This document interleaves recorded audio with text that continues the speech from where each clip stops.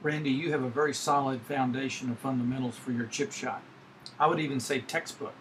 Feet are close together, slightly open stance, weight on left side, gentle arm swing that isn't wristy.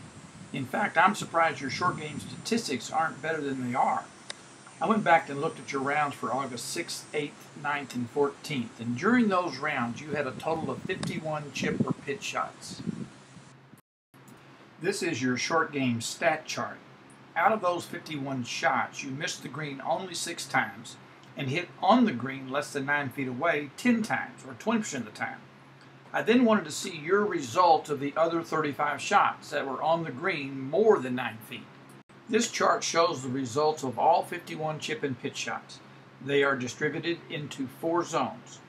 10 times you hit your best chip shot less than 3 yards from the hole. That's inside that white circle. 11% of the times, or 6 times, you hit your worst shot and miss the green. The other two zones were between 3 and 6 yards and more than 6 yards.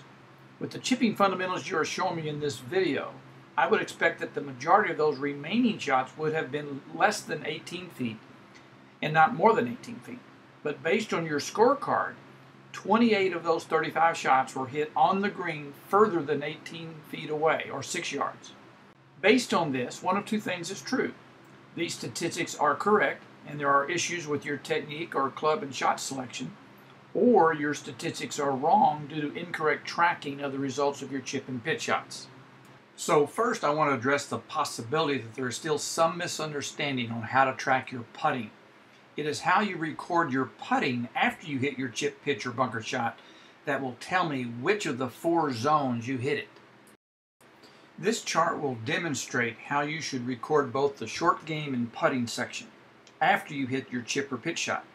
For example, if you are off the green, shown by the white circle and red X, and hit a chip shot less than three yards from the hole, you would put a mark in the less than three box in the results section for the short game.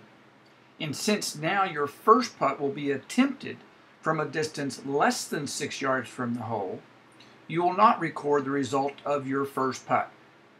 The sections shown by the red box are only used for recording results of putts that are attempted from a distance further than 6 yards.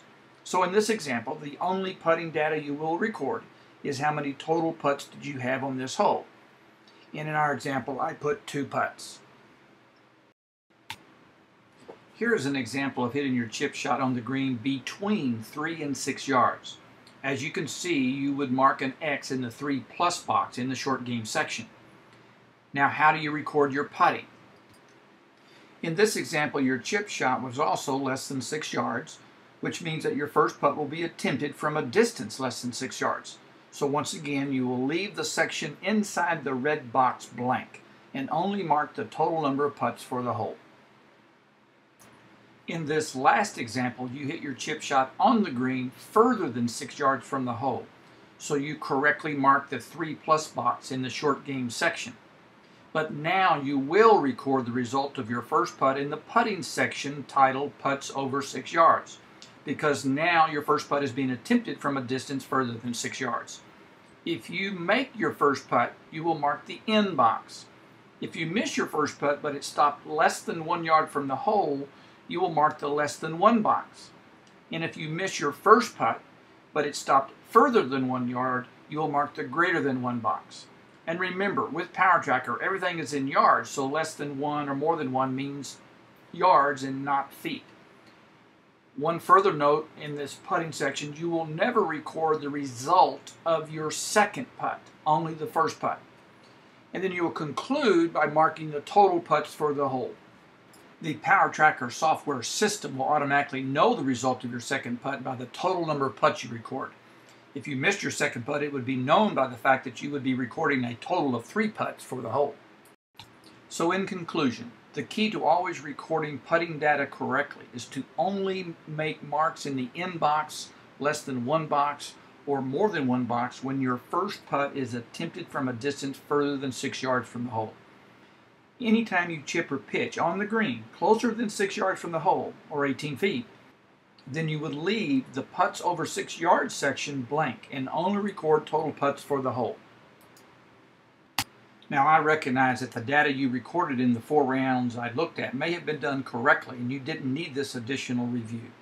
But because I was so surprised how good your technique was and expecting more chip shots to be hit closer than six yards from the hole, I needed to be absolutely sure you are doing it right before you enter too many more rounds. Now, regardless of whether you're recording these shots correctly or not, I do want to go over some things that will help you hit more shots closer to the hole. I believe the short game shot from around the green are the most difficult and complex part of the game of golf. If I'm 150 yards from the hole, I basically need to learn one swing with one club. If I get fancy, I might choose to learn two or three swings with one or two additional clubs. But with chip and pitch shots, you need to learn a hundred swings. You need to learn to swing with different clubs. You need to learn to swing with different length backswings. You need to learn with different ball positions, swings with different tempos. You will learn a basic fundamental sound chipping swing, which you already have, and then begin experimenting and testing that swing to different targets. Experiment with different clubs, experiment with different ball positions. This is a diagram of a short game test you could do. Pace off five yards from the edge of the green and stick a tee in the ground to mark where you're going to chip from, shown the diagram with a red X. Then from the edge of the green, walk into the green 10 yards or 10 paces and stick a tee in the green for your hole. Or you could use a training stick you may have seen me use in some of my videos. You can get these at Lowe's or Home Depot.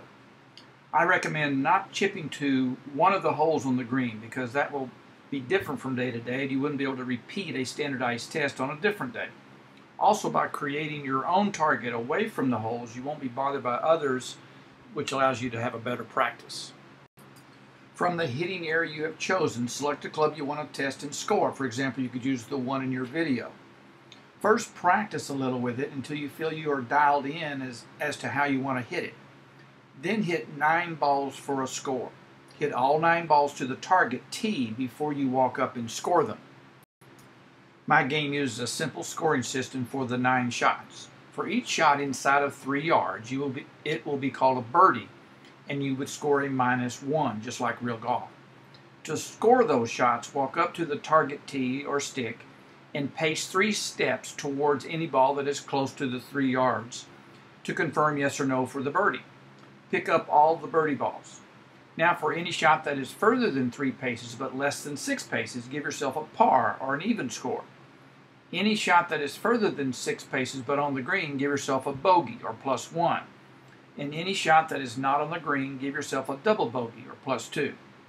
Now, as an option, if you want to create an eagle circle of one yard for a score of minus two, you can. Now, your final score will simulate a nine hole golf score, and your first goal is even par. The pros in this game would hit all nine shots inside of three yards for a score of nine under.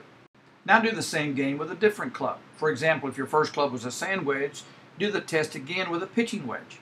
Practice first for about five minutes until you're a little dialed in and then score the nine shots. You can use this same scoring system for different distances from the edge of the green and you can move the target tee either closer or further from the 10 yards. Practicing for a score using different clubs, different ball positions, different backswings or tempo lets you objectively measure their effectiveness. But it also is a better practice session because it will simulate real golf in that you are always trying to beat your personal best. The next time you do video of your short game, I would also like to see some pitch shots from further away, maybe 10 or 15 yards from the green. Good luck and please let me know your scores. Thanks.